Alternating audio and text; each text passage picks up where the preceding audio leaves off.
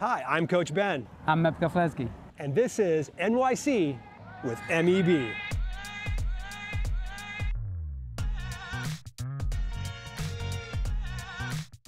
Welcome to the start village, the start line of the TCS New York City Marathon. Runners, you've worked hard, trust yourself at this point. When you get here, you should know what you want to do, how you want to do it, when you want to do it. Nothing new on race day. You've trained with it, you've ate it, you drank it, you wore it, you have it here today. Don't go out too fast. We don't want any 5K PRs. We want marathon PRs. How do we get that? You want to have control early. Take it easy. Let the wave pass you by.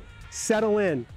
And last but not least, don't race before the race. When you get here, the whole fort will be for you and 55,000 of your closest friends.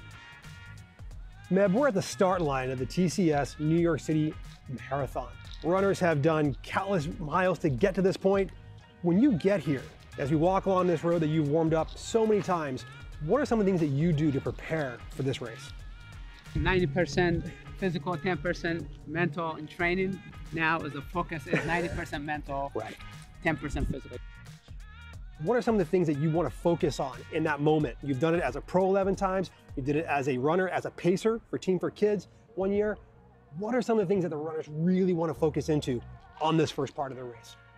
Sometimes you want to get started right off, but the Verrazzano Bridge keeps you honest, humble, and don't worry about your splits. That's what I'm thinking. It doesn't matter. I didn't even look at the clock. Enjoy the left, the right, the bridge and the water and Statue of Liberty and the sky, uh, city skylines.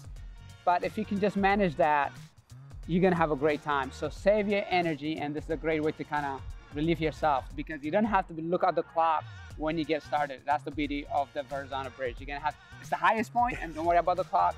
Worry about it when you get to, to Brooklyn. Hopefully, you get weather like this on race day.